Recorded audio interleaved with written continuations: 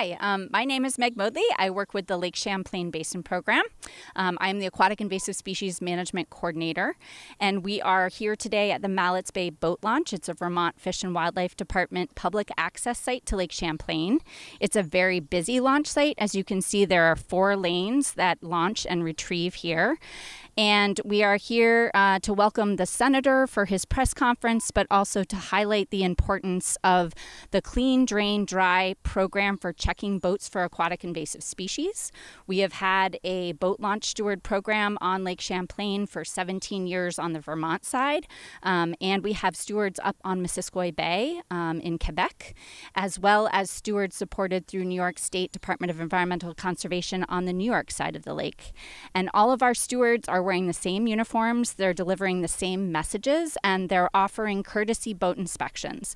What they're doing is really looking to see if watercraft are traveling from other bodies of water where there may be aquatic invasive species that we don't have present in Lake Champlain. Um, so, what they do is they do a head to toe inspection. They look at the hull, the engine, they make sure the bilge water's drained, that the live well doesn't have anything in it, they check the anchor line and they offer um, removal of species and in some cases decontamination of the watercraft. So if we do find something like zebra mussels or quagga mussels on a watercraft we'll refer them to our decontamination site which is up the hill. It has high pressure hot water that can help remove and kill these organisms. Um, and it's just as important to check watercraft coming into lake champlain as it is to check watercraft exiting lake champlain. We have 51 known non-native and invasive species in lake champlain about a dozen of those have been measured to cause some kind of harm. Those are species that you might be familiar with, like Eurasian water milfoil, zebra mussels, alewife, sea lamprey. Um, but the watercraft exiting Lake Champlain are often going to uninvaded water bodies, and we have a lot to protect in our region. 80% of the water bodies in Vermont are free of aquatic invasive species, and 75% of the lakes in the Adirondack Park are free of aquatic invasive species. So um, I'm going to hand the microphone over to Emma Brzezinski, who is a first year steward here. She's worked at various launches, and she can share some of her experiences. Hi, everyone. Uh, my name is Emma, and as Meg said, this is my first year as a boat launch steward. Um, and I've worked several different launches around Lake Champlain, including Mallets Bay right here, um, Colchester Point, Perkins Pier in Burlington, um, as well as uh, Converse Bay in Charlotte.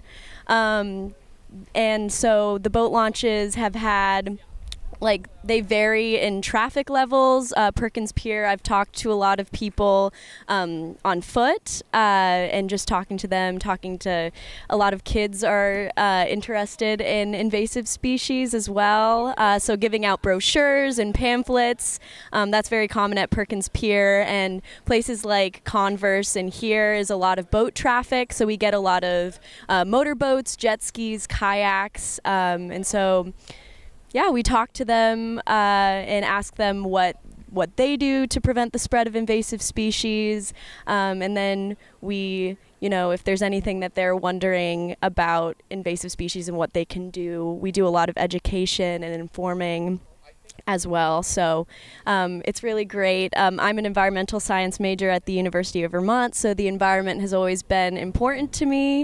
Uh, and so I myself love learning more about invasive species and I love talking to other people um, as well. So, yeah.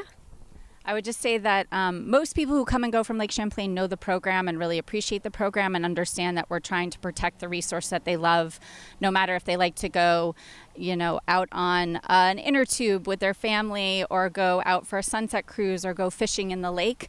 Um, we try and make that connection with the user um, so that they understand the importance of the program. And we're really trying to um, sh- share best management practices with them so that they become more familiar with cleaning, draining, and drying their watercraft because we can't be here 24 hours a day, seven days a week.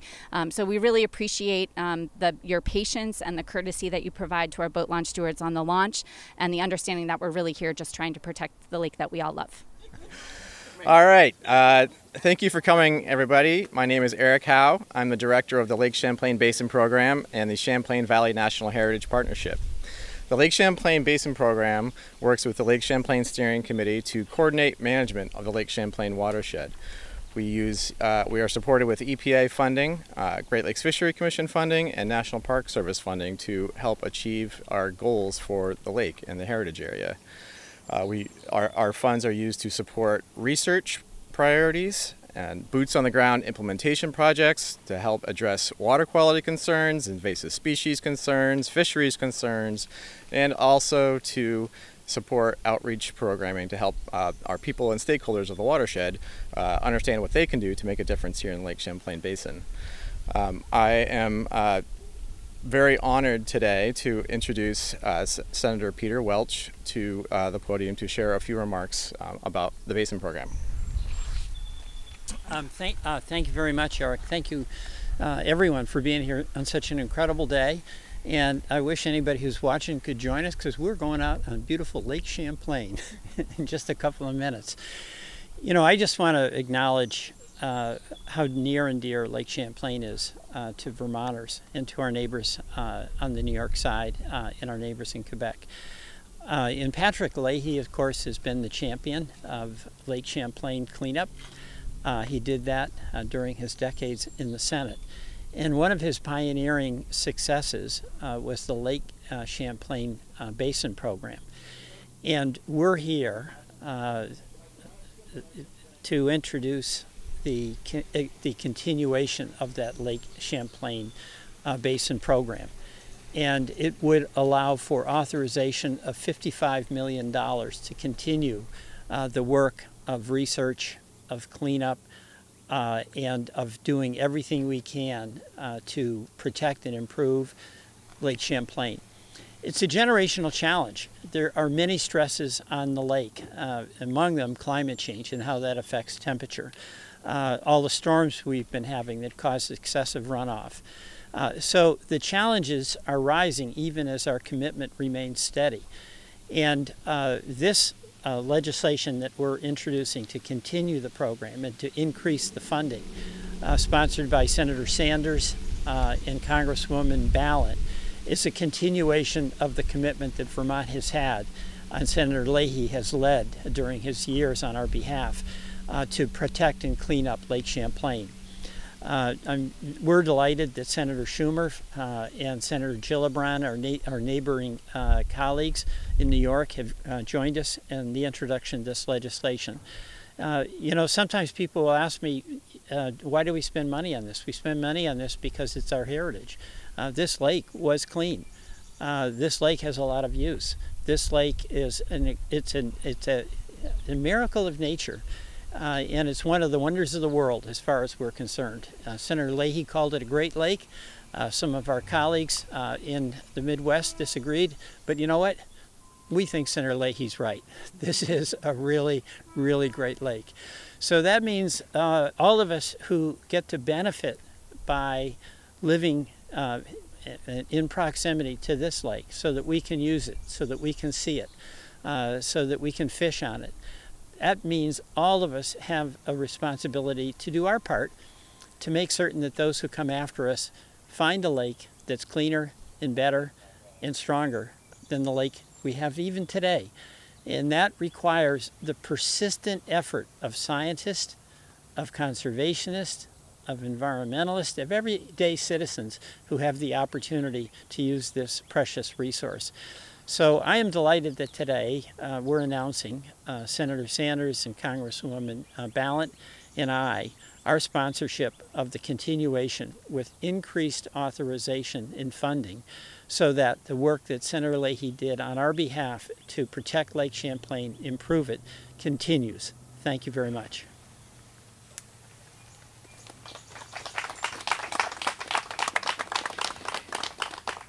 Thank you, Senator Welch. Uh, I would next like to introduce uh, Secretary Julie Moore from the Agency of Natural Resources.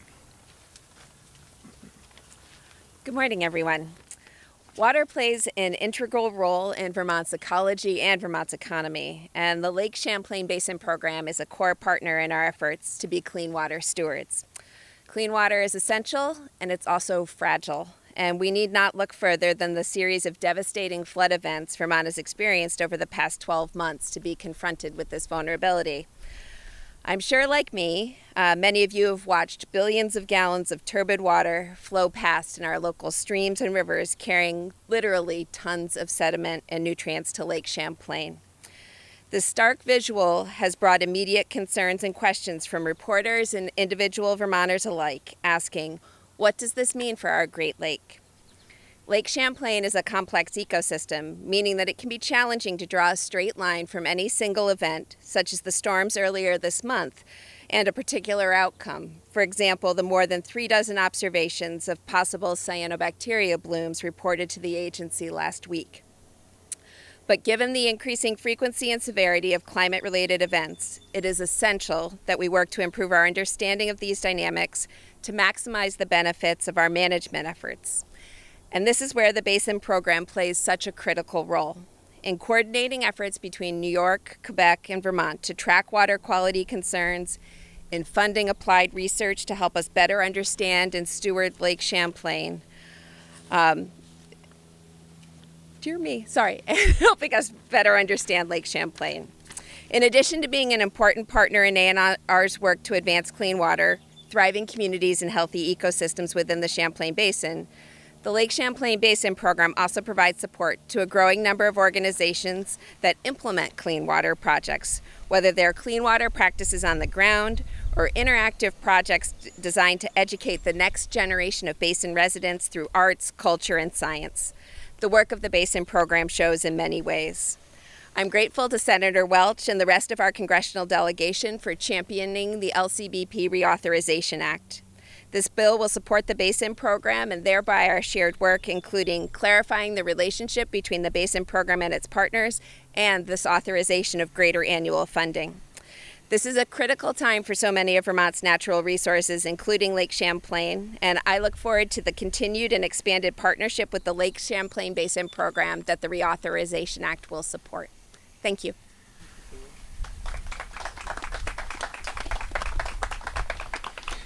Thank you, Secretary Moore. I now would like to welcome Karen McGuire, the EPA Region 1 Deputy Administrator, to the podium. Good morning.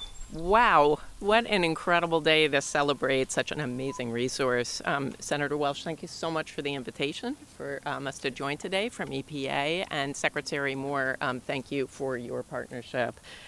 Um, Again, I'm Karen McGuire. I'm the Deputy Regional Administrator in EPA Region 1 or EPA New England, um, and we work closely with our colleagues from Region 2 office in New York, um, as well as in partnership with um, states of Vermont and New York and Quebec uh, to uh, work on uh, protection of the lake. You know, here we believe that um, environmental protection and economic benefit go hand in hand. And what a resource this is that supports diverse habitats, uh, connects residents and visitors with an unbelievable beauty up here, and of course generates um, many dollars in tourism revenue. Um, for the last several decades, as the Senator Welch was describing, uh, with the Basin Program, EPA uh, has been able to work with all our partners and to uh, issue grant funding uh, for lake restoration. You know, like many water bodies across the country, it certainly faces some challenges. The senator was speaking about climate change and obviously the challenge of too many nutrients, phosphorus, which is leading to many of the algal blooms um, that we see here.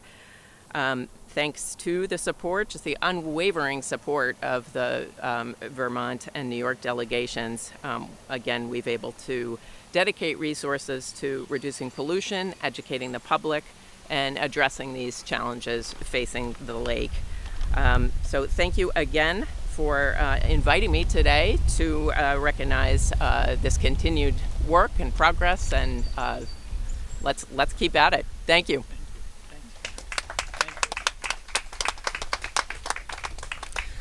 Thank you, Deputy Administrator McGuire.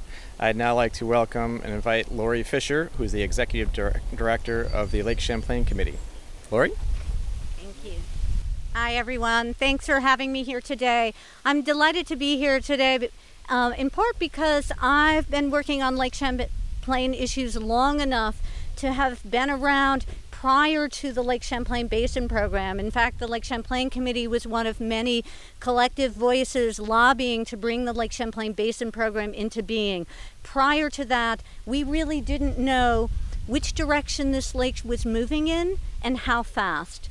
And that, uh, the Basin Program, the Special Designation Act that Senator Leahy led on in um, collaboration with the congressional delegation, which Senator Welch has been a champion for uh, since. Uh, his during his long career uh, and previously as a congressman, but now as a senator, we're really grateful for that collaborative approach to connect New York, Vermont, and Quebec efforts to protecting and restoring this vital resource, which is so fundamental to our quality of life, to our economic and public health. It's our drinking water source, it's this incredible recreational playground, uh, but it's also this wonderful water body that does so much to sustain and restore our spirits. And in these challenging times, whether we're facing things like the impacts of climate change, which we are seeing on a regular basis, and the historic flooding that happened yet again um, on you know, in the anniversary of the 2023 flooding, saying the same things happen.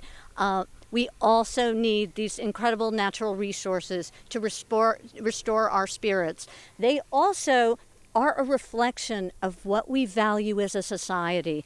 And the Reauthorization Act enables us to come together and to commit to not only protecting the incredible resource values that we have, but also to restore those areas where we're seeing degradation, to think about how we respond to the increasing challenges of our day with climate change, build greater resiliency. It also enables us to invite the large community of basin residents and visitors here into that project. So I'm really delighted that Senator Welch will be spending some time with the boat stewards and also with our cyanobacteria monitoring uh, monitors who, through funding through the Lake Champlain Basin Program, we've been able to grow that program over time to what we're told is the most comprehensive cyanobacteria monitoring program in North America through a public private partnership with state agencies, with municipal um, representatives, and with community science volunteers. It allows people to engage and get involved in water protection on issues they deeply care of care about and that's what also fosters this ongoing stewardship ethic. Because where are those volunteers of tomorrow the stewards of tomorrow going to come from if they don't have access to this water body and really get involved? So i'm delighted to be here. Just want to recognize some of our volunteers who are out here and um, really grateful for all these efforts and to continue this ongoing collaborative work with all of you. Thank you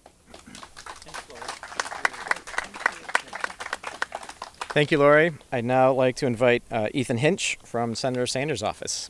Good morning.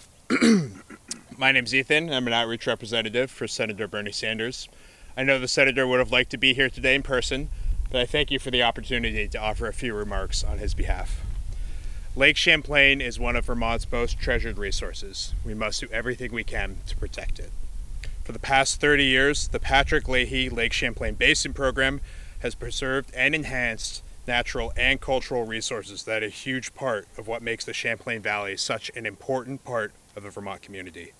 The program does such important work to reduce pollution in the lake, restore habitats, prevent the spread of harmful invasive species, educate residents and visitors, and involve local communities in its ecosystem protection and restoration efforts. As a member of the Senate Environment and Public Works Committee, Senator Sanders has been proud to support the program's efforts to protect and improve water quality and ecosystem health in the Lake Champlain Basin through the annual appropriations process and the biennial Water Resources Development Act. Bernie is also proud to support the Lake Champlain Basin Program Reauthorization Act, which will give the program the tools it needs to continue effectively serving the Lake Champlain community and extend the program's federal authorization another 10 years. Bernie looks forward to seeing the good work the program will do for current and future generations. Thank you.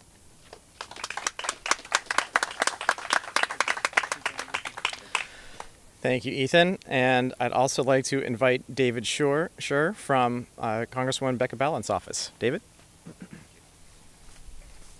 Good morning. Uh, the, the, Congresswoman is sorry that she can't be here personally. The House is going to be in session in a few hours, and she wasn't able to make the scheduling work. But she did want to extend her gratitude, first of all, to Senator Welch for his leadership on this issue for many years, and in particular this year. I can say, uh, I can announce here today that although the Congresswoman has been on board with this uh, for since the idea was introduced, she uh, is excited to be able to say that tomorrow she will officially be introducing the House Companion Bill in the U.S. House. So we'll have bills on both sides of the Capitol, uh, hopefully ready to move as soon as we can. I think uh, it's also important to acknowledge Senator Leahy's extraordinary leadership on this. It is very appropriately now named for Senator Leahy, as the as Senator Welch mentioned. Uh, Senator Leahy, I, I, I, recall when he ran into a little bit of trouble for trying to call Lake Champlain the sixth Great Lake. Um, but I believe he was right. I think all of us here believe that he was right in that, even though it didn't quite make it into federal statute. I think, as many have said before, this is such an extraordinary resource. It's such a critical resource, um, both for e- ecologically, environmentally, but also for the people who live nearby this lake. Uh, as one of the people who lives near this lake, I'm grateful for it uh, every day. I, I, got engaged on the shores of Lake Champlain. Uh, it's incredibly important to so many of us who live here, and the uh, important thing to remember when we talk about bills like this, when we talk about the importance of spending resources on this, is that these places unfortunately cannot take care of themselves. They require a commitment, they require resources, they require the people who live near them to care and to put the effort and resources into them to preserve them and maintain them. Uh, as we've all been dealing with recently, the climate change is real, uh, it can be very severe, and it does require our effort. And um, attention to make sure that we can preserve these important places and resources. So, thanks again to Senator Welch and to Senator Leahy. Congresswoman Balint is honored to be a part of this effort, and um, we'll be introducing in the House tomorrow.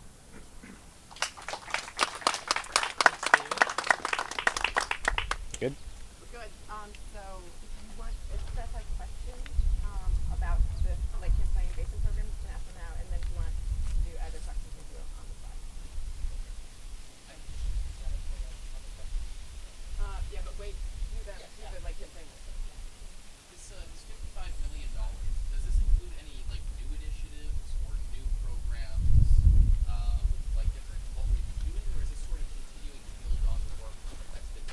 Well, it, builds on what we're doing, but it also uh, is trying to reorganize to make uh, the, uh, the, the basin more flexible and also to be able to raise private funds to assist in the work.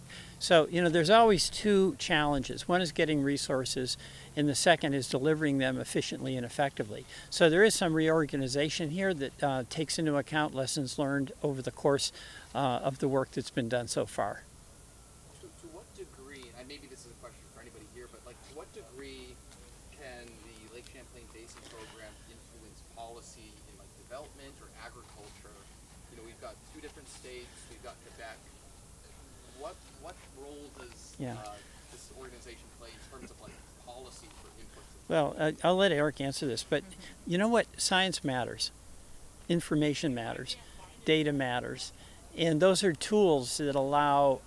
uh, the policy, the implementers, uh, to focus resources in the most effective way. But I'll turn it over. Eric, go ahead. Thank you, Senator.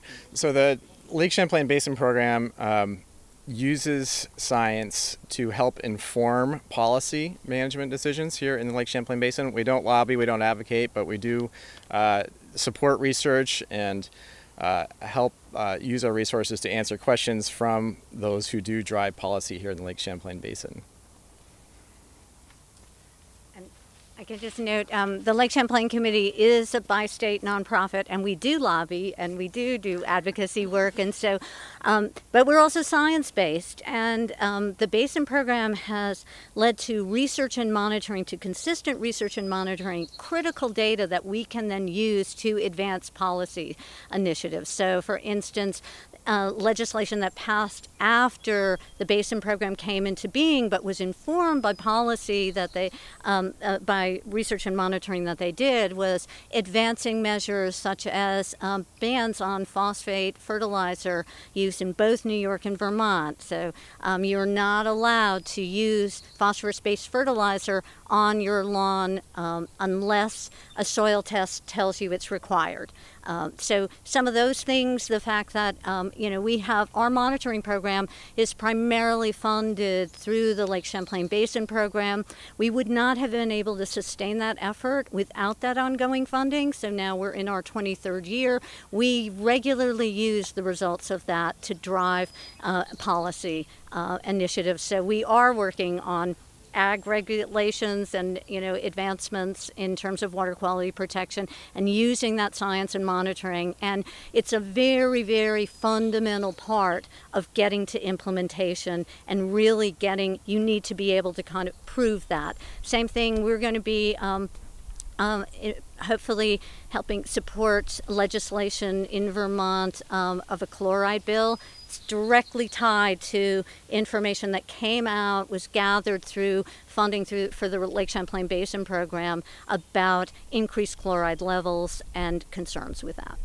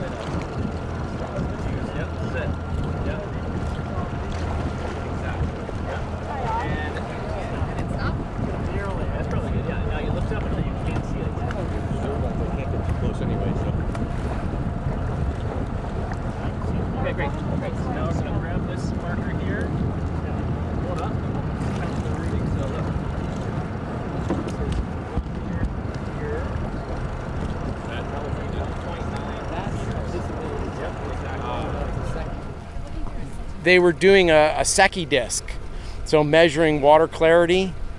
So they basically drop a standard disc down into the water with its white and black in coloration, and you measure how deep you can still visually see it from the surface.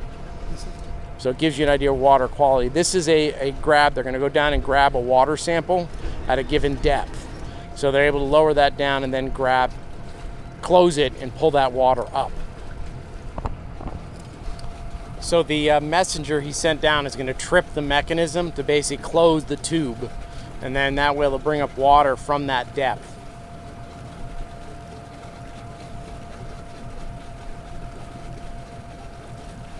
How often do they do this? Uh, the long-term monitoring is it's every week, every two weeks they're doing stations. So there's I forget how many stations, 40 something on the lake, that they'll go through and do samples. And they know they're in the right place because that buoy over there? That's their uh, that's a real-time monitoring. So that's actually taking things like water temperature and some other measurements, and that's uploading data onto the website, the Lake Champlain Basin Program website. Um, so that's a, a, kind of a monitoring station that's doing real-time. I think uh, you're talking about a half hour. It's about a half hour delay. Something like that. Yeah, half hour delay to basically having that data on the web. Do take the sample here so that they can correlate with the data from that? Uh, they have a long-term monitoring station here. if this is where we are. I don't know exactly, but um, that that stations. like, and they'll repeat sample that station. Okay. So um, But is the station a piece of equipment or is it just a it's a spot, a GPS GPS position. Got it.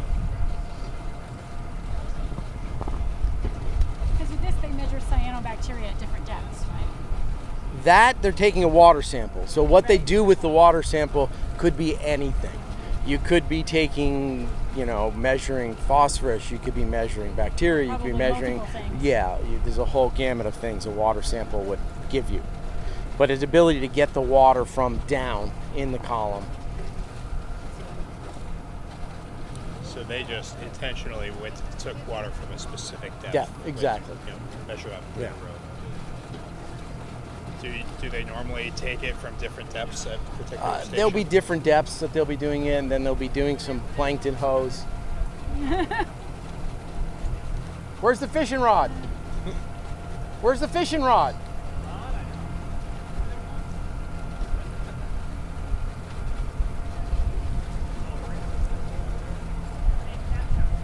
Uh, it could be anything. Salmon. Uh, it could be some lake trout in the fall and winter. Um, smallmouth, largemouth bass, northern pike, yellow perch, white perch. Nice meal. There was probably uh, 25 bass boats in that opening during the last tournament fishing for bass. It's pretty good. Well, this is great. It really is. I'm envious of these guys and the job they have. This is, uh, this is, they're on the clock. Working hard to protect the lake. That's right. We appreciate it. But not every day is as beautiful as this. No. Any questions or anything? Start heading back. I hate to end, I hate to end everybody's uh, enjoyment. Great. All right. Thanks, everyone. Thank you guys. We'll see you back there. Thanks, Dave. Thanks, Mike. Thanks all.